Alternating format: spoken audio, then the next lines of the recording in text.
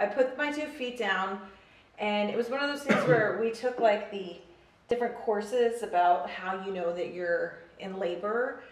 And one of them was if your water breaks, but they said it's not going to be like in the movies where you, you know, all of a sudden it all gushes out. Well, that's actually exactly what happened. Like I put my feet down and it was wet everywhere. And I was like, oh my God. And Rob sat up and he was like, is it happening? It was happening. So then I went to sit on the toilet because you know you have water coming out, and then the second thing that we were told was, you know, the mucus, plug, plug. aka the bloody show. So we're told that you know in the days coming up that maybe like you would start seeing a pinkish discharge. I never did. I sat down on the toilet right after my water broke, and my entire mucus plug came out. Like it was I'll cut to the pictures. We have it on pictures, like gooey, this much. And it wouldn't come off her hand. I don't think anybody wants to cut to the photos, but so then in my mind, I'm thinking, okay, so that's two of the three things that we had talked about, and then the contraction started. So there was like no doubt, are you in labor? And in a weird way, like is you know frantic with the water breaking kind of made things. At least it was a clear indication that we knew right away we needed to go to the hospital. Yeah, I texted her doctor, called her doctor. She said go to the hospital. Sounds like she's in labor. And I texted family members on a massive text chain, which came in handy later as we were doing, or I was doing play by play of the entire labor process all the way through birth. Well, we'll have to. So we left, and I think like my biggest nightmare. I mean, obviously you you can't plan your labor, but in my mind I was like, God, I just hope it's not at like two or three o'clock in the morning because you're all groggy and you. You know, you you'd rather have somewhat of a sleep and maybe look kind of presentable because you're about to go give birth. But um, it was fine. Like I got in the shower because I knew I wanted to take a shower. We'd already had our bags packed. We'll get to that later. So I put on just something comfortable, and then I was really glad that I'd already gotten, you know, for postpartum, kind of like these adult diapers, because once your water breaks, like you just are gonna keep leaking. So like the whole car ride, we're like driving, every bump we go through, I'm just like, oh my god, there's just stuff leaking out of me. And it sounds graphic, but it was like when I got there and I took that diaper off, I was like, oh my god, I feel like I know what it's like to be a baby. So talk about when we checked in at Cedars, we got there at five o'clock. No traffic, 20 minutes maybe, 22 minutes. Best parking spot in the entire hospital. Uh, no traffic. It was a Sunday night, Monday morning, and uh, basically three hours at the after the end of his due date. So he was basically right on time. And we got to the hospital, carried about eight bags up to uh, the check-in, and filled out some paperwork. Yes, eight bags. So I just want to say that um, obviously, first time parents, you know, you plan ahead. And I had packed one bag for myself. I packed a bag for Asher. And then I told Rob to pack a bag and then to bring a bag with like pillows and some snacks. He drops me off. I'm waiting for him. He rolls up with like eight different bags and everybody's like laughing at him. They're like, you must be a first The time other dad. three bags had breast pump. Which I told you not to bring. You said to bring. I said leave it in the car. You're supposed to bring another bag for things that you take home, which we did. We took home a ton of stuff, and we had a bag of pillows and blankets and other stuff. So we had everything we needed. But the check-in at Cedars, they were laughing. We had so much stuff that they had to basically bring Rob like a luggage cart. Like we were checking into the Four Seasons. It was amazing. So then we go to the first room, and basically because my water broke, you know, they can't check your cervix because there's a risk of infection. But because the water did break, you know that things have to move along at a quicker pace because the baby needs to come out. So we basically waited for my doctor to get there. And then um, when she got there, she, well, how many centimeters dilated was I when she got there? Two or three, three. Three. So then what happened was, is they put me on, and I always forget the name of it. What's the drug? Don't know, so it starts with a D. It pushes the contractions. Oh, that's uh, Pitocin. Pitocin. So then, you know, these contractions started to kick in. And once you get on the Pitocin, the contractions get closer together and they were more intense. So I was like hanging out on my birthing ball. Hey, baby.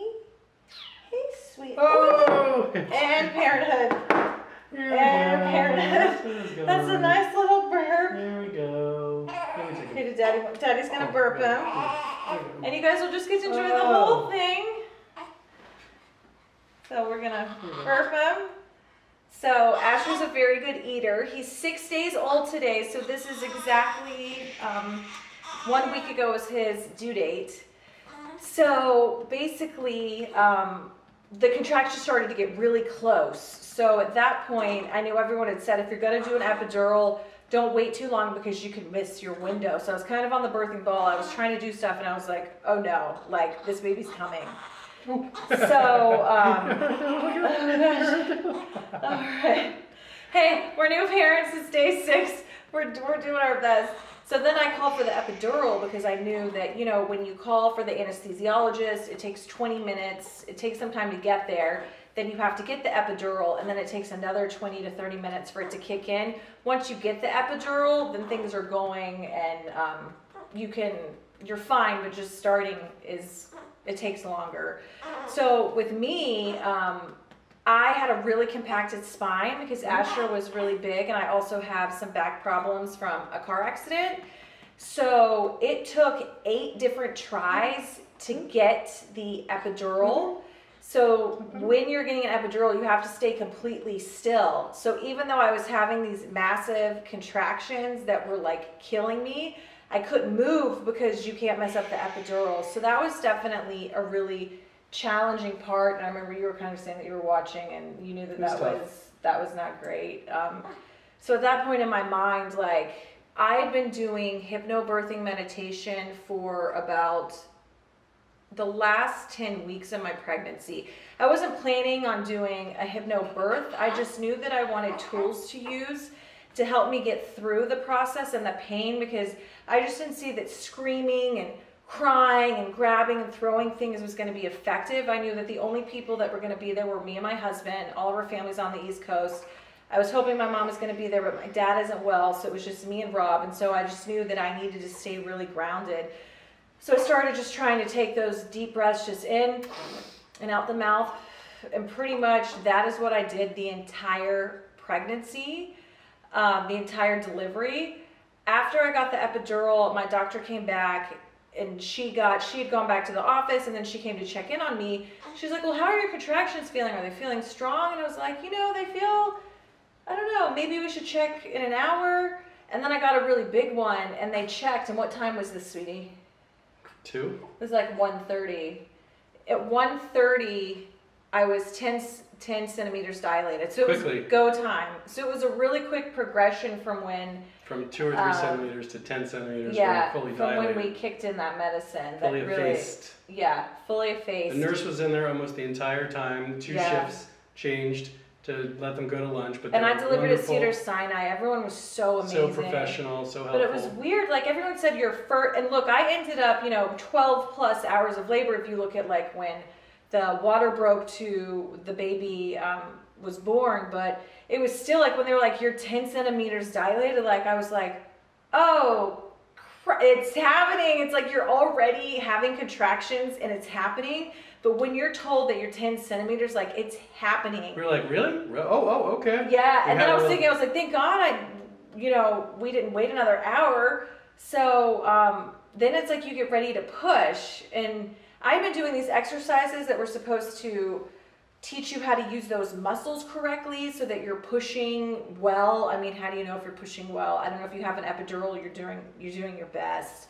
But so you have like there was a nurse on the right leg and a ner- and Rob on the left leg, and you have your knees up, and like they're looking at the contractions that are coming, and they're you know basically they time it. So you take a deep breath, and then you hold it and you count to ten, and you just push with all of your might, and you do that three times in a row. And I noticed that when there would be like a really really big contraction, like Asher would give me like a warning, he would kick me. And then before I was like, oh my God, he kicked me. And then my doctor would say, are you ready? And then I knew a contraction was coming. And it was like the biggest ones. And he did it like 12 times. So I just felt like maybe the hypnobirthing worked. And we just seemed to be really in sync as far as working together and trying to get him down. Um, and you were just texting everyone, like Rob was like holding my leg, with like it needed to be up like here. He's holding it like this. He's filming everything like this. He's like You'll texting everybody, and I'm like, babe, I need you. Like you have to focus. Like you're my The person. You have to contractions would come first every four minutes, and then three minutes, then two minutes. And then one But minute. once she was in labor, it was like every one to two minutes. So in between contractions and pushes, I went to my cell phone and I was texting all of the family members. Dad, Joan, Jeff, Jess, her mom, They don't know who these my older brother, my older sister, their partners, wives. like everyone, and I'm And like, I like, need you. I'm like, it." I need water. I need ice. And then I would run so over we and get her a little ice- distracted. ice chips and water, and I was feeding her while we were um, getting uh, in between the contractions. But it was it was a smooth oiled machine. Yeah. Well, maybe. And I wanted to say, um, so I did sit on the birthing ball at the beginning, and then I used the peanut ball um, while at the early stages of labor to help kind of stretch the hips out. So I know a lot of people have asked about that. I started with a walking epidural, and then I went with a full epidural because that pain, when those contractions were a minute apart and were so intense, was like unfreaking believable. Like more than I even thought it was gonna be. Do we want to get him in a little swaddle? I don't want to be swallowing that. All right, we might have to do a, a pause in a minute, but because we never want to have an Yeah, yeah. upset baby. Okay, we think we need a swaddle. We'll be right back. Pause. We're learning that um, usually when babies get upset, it's three things: Four. for hungry, swaddle, poopy, pee diaper, and sometimes with Asher, Burping. it's just some good old fashioned What burping. she just did. So, I think where we left off was just talking about how. So you know. I'm pushing, Rob's like filming, and I told him, I was like, whatever you do, you cannot film like dead on, like straight vagina. I was like, if you're gonna do any photos or video, like I want you over my shoulder because I, I don't know, I just feel, I don't even want to look at those photos, like let alone do I think other people, I know some people think birthing photo, photography is beautiful and, and I get it, but I just didn't want those kind of photos because I know he gets really excited and the last thing I want is a photo of a head coming out of my vagina being texted around to family members, but that's just me. And I didn't. Well, I got some really good video he did get some good with some video. vagine. He did get some good video, which I still haven't seen. I got POV from her above her head, Yeah, zooming in on what was coming out that way. It's going to be amazing. yeah. I mean, maybe we'll This see. little head, you saw the hairs start coming out, and it just sat there. And it was about an hour, hour and a half Yeah. that he was just sitting in the birth canal, which is why we ended up doing. Well, it was really rough. The last 30 minutes were really rough on me because I just was delirious. Like at this point, I had been mm-hmm. pushing actively for two and a half hours, and he had just been stuck in the same place. My OB was incredible. She was, you know, putting oil, trying to stretch, but at that point, like I could not stretch anymore.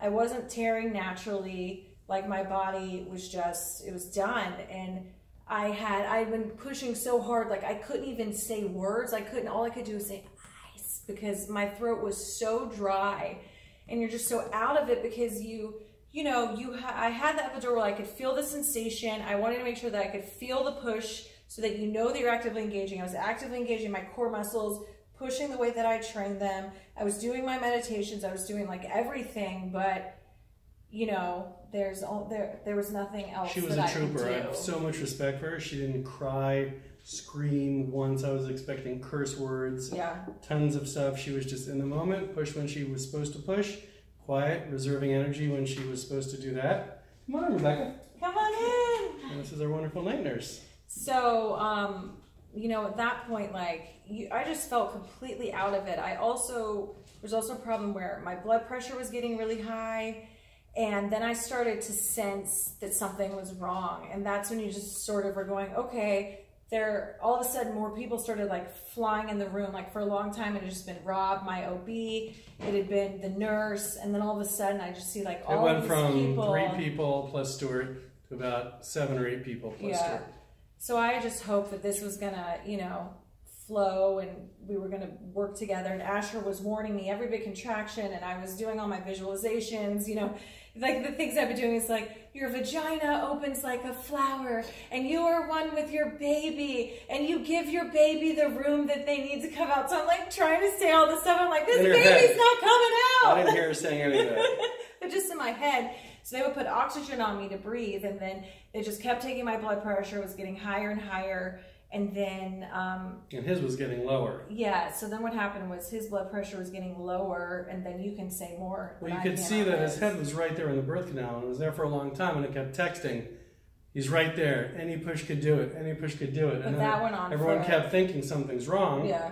I didn't know how long it was supposed to take. And finally, the doctor was getting frustrated, and she tried her best to do a natural birth with Yeah. without any other contraptions. But then she said, "We're going to have to cut you just a little bit to get his room for his head." And then she Yeah. snipped a little bit, and then there was a little more room, and he came out a little more. Yeah. But in order to get him through, they got this contraption where they attach a little suction cup to his head and wind it on top, and then slowly tighten it, and then pull, pull, pull, and then and he popped out. I could kind of see, like, I saw them put something in, and I saw like some winding, and I was just like out of my mind because you're just, you have absolutely no control, and you just know something's wrong. And when you hear something's wrong with the baby, then you don't even know what to do. And I remember she's like, "Can can I cut you?" And I was like, "Wait, what?" Because I was like just trying to process. Okay, this is all happening. I was like, "Yes," you know, and.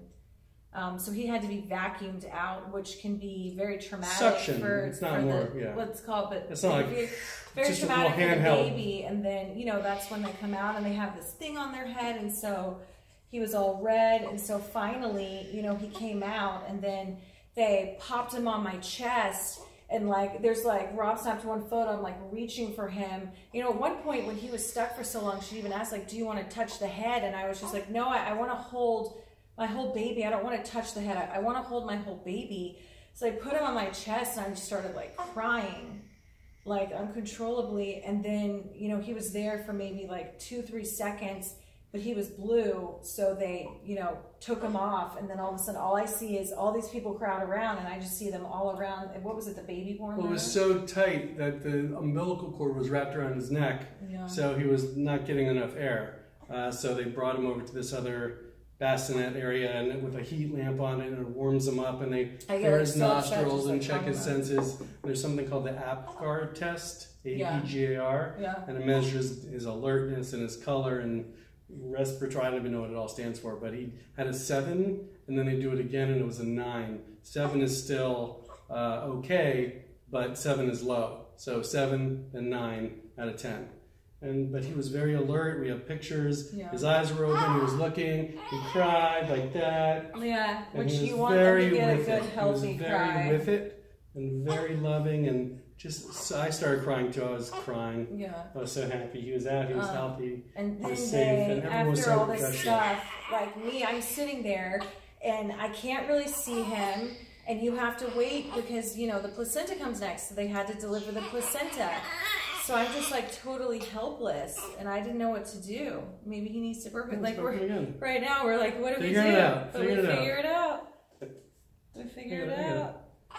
So um, I was just like a mess because I knew something wasn't right. And I didn't feel good because I was having complications and I'd been through a really traumatic, stressful situation.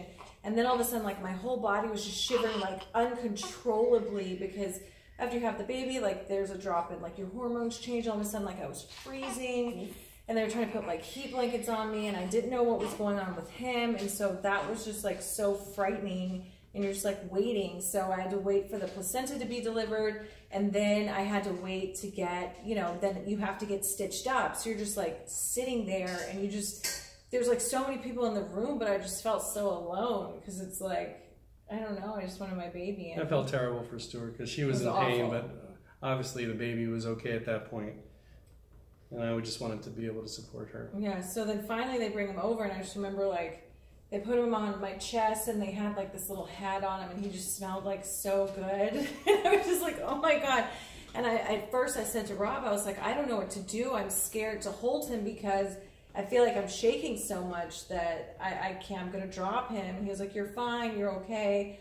And then he was like a little heat warmer, so then when he went on my chest, it actually like soothed and calmed me. And a big thing here is skin to skin after he's born. So they had her skin here, Yeah. his skin, and he just passed out. We took a picture, and we have Yeah. video, and he was a trooper from the very beginning. No tears, no over, no overacting to any or overreacting to anything that happened around him. He's been such an amazing baby. Like, just I think that once I was able to like hold him, and then I think what was really scary, um, and like as I said, the nurses and everyone were so great, and I was just really focused. But then my blood pressure kept going up. So then they took him to the nursery, and I had to stay another two and a half hours where they were worried that maybe I had a hematoma or like something else was wrong. I was in so much pain that I was just like, and I never cried, but I was just like bawling. Like I could, I was crying uncontrollably, and I just kept on like apologizing because I was like, I don't know what's wrong. They're like, you're fine, you're fine. But they told me they're like, you know, we think instead of going to the regular recovery, you need to go to the intensive unit where we're going to check on you every hour. And I was just like, no, no, no, I don't want to do that. I just want to go be with my baby. So it was, that was really hard. And I feel like you don't really hear that kind of stuff. I think a lot of women sometimes kind of sugarcoat their labor stories, or maybe if there was something that happened, they try to just blow past it like, yeah, this happened. But it was, it was a lot. It was physically, emotionally, draining. And then, you know, I had been very honest that I was worried. I was like, I don't know if I'm even going to be maternal, you know, like, I don't know if that's me, but when that baby comes out and they hand it to you, like, you become like a mama bear. It's like a different person unleashes and you're just, you want to be with your baby, you want to protect your baby. So eventually, um, they had sent another doctor and they went back in my vagina to search for a hematoma. They went back in my butt, which let me tell you was like freaking awful like so much pain. But then I slowly, my blood pressure went down.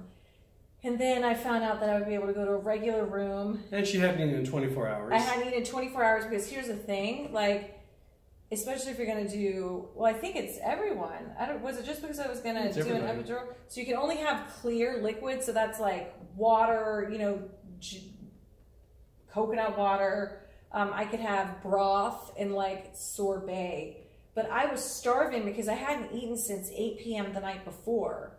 So you're so tired, you're so drained, you've been pushing, and then you're like starving. more? Did he burp a More, little bit little more? more? burp. A little more. burp. Look at that face. Look at that Oh my god, look at that Look at that punum. How do you not love this kid? Cutest thing. he's the most precious. So he's just like our whole, our whole world now. So it was um an intimate delivery. Like a, a lot of people want doulas, and they want a lot of people in the room. And we had talked about a lot of things because of things out of our control. The only people that were going to be there were me and him. But I'm actually glad. Like also know, you know, there was like an intern that came through and they wanted to be in the room. I didn't, if someone wasn't doing something, I didn't want them in the room. I didn't want someone taking notes. Like, I wanted people that were working and doing stuff because I just wanted it to be a more intimate affair. And that was just, And it was that was just our nice. choice. It felt like a spa. Yeah. I had spa music playing the entire time. So I was trying to keep that meditation vibe going and um, We lowered the blinds so there was Yeah. light coming in. Kind of feels like I feel like the sun's been going down as we've been doing this. We ended up with a beautiful room, so we had great daylight, which was wonderful. Um, it made a big difference. And I'm trying to look at some prompt questions. What was the first thing you said to your baby when your baby was born? I said, "Hi, baby. Hi, Asher." And I just cried. I was like, oh, Yeah. I did it. I love you. Here you are. And we have pictures of that too. The first time I had eye contact with him, and he goes, And I'm just sitting there wanting to and he die. recognized my voice. He Yeah. recognized her voice.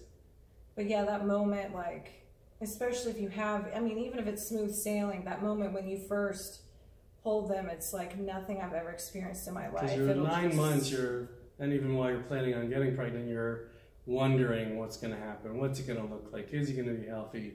Is he going to be okay? And then the second he comes out, you're like, here he is. It's Yeah. so, so refreshing and relaxing and rewarding. And then we've had an incredible week, to be honest. That'll be another time. But this is who he is. He's a cute little, beautiful munchkin who's alert and aware I and like it's smart. so dark right now. No. And he's and he's just a really special little kid, and everyone's kid is special in their own way. But to us, he's the most special. So we couldn't be more in love. Um, the postpartum stuff will be another adventure. I will just end it with saying your first pee and your first poop. Good luck, ladies. that's that's the, the postpartum has been, you know, there's so much that everyone just talks about the birth, the birth, and then the postpartum is like a whole nother thing. But that first night with your baby is like nothing else. And don't be afraid to take advantage of the nurses. They're so great. They'll come in, they'll help, they'll teach you things, but you know, really use them as a resource. Um, And I think I think that's a lot of detail Look for you guys. I think that's a lot of detail for you Look guys. At that face. So is there anything that we're missing with the birth story of Asher? No, for dinner I went around the corner and got chicken parmesan and pizza. Oh my god, I've Delicious. It was the best. I my stomach had shrunken so small I could only have one piece. It was the best piece of pizza I've ever Best. had And in we went life. around and we ate in the room that we got shuffled into. It was tiny. I slept on a little cot. We'll get into all that. That's all postpartum stuff. But for me, the birth was better over and than anything I could have ever imagined. She was incredible. Getting there was fine. Getting checked into the room. We had one, two, one room to beforehand, one room to give birth. It was a beautiful suite, which we weren't guaranteed to get. It had a beautiful view of the Hollywood Hills. The sun came up as we were in there. Um, the nurses and the doctors were incredibly professional. Um, we had time And to there's really. nothing like the smell of your baby. It's We had- just an intoxicating Yeah. drug. We had um, time to prepare. Uh, everyone was so helpful and calming, and and then the process was amazing all the way until the end, where his little tiny head couldn't get out, and that was it. But up to that point, smooth sailing. And for me, it was keeping her happy, holding her leg with my, this arm, feeding her ice. With sometimes that arm? I think that um, the humorous moment would definitely be like Rob holding my leg but dropping it and me going, I need you to focus. And then also, I was texting this uh, my friends from Miami, my friends back east, my family back east, my friends Which in I LA. said, I need you to be with me. And so just I had multiple text he going. Sec- Even text his family chains. members said to him, I can't believe how much you were texting. They're now we'll have all that too, as far as our play-by-play. So Yeah, was it was great, and I felt like we got to share with everybody. And And he did take video of the end, and I haven't been able to watch it yet because I just don't emotionally. I'm not there where I want to see that, but hopefully I'll be able to. yeah, But we have great video. It makes me tear up just thinking that anything, you know, you grow this person for nine months and thinking that something could happen was just, it's awful. So I'm so glad that he's healthy and happy. Mhm. He's the happiest, and he's the sweetest. and she's the best mom. So that's our birth story. We love you, Asher.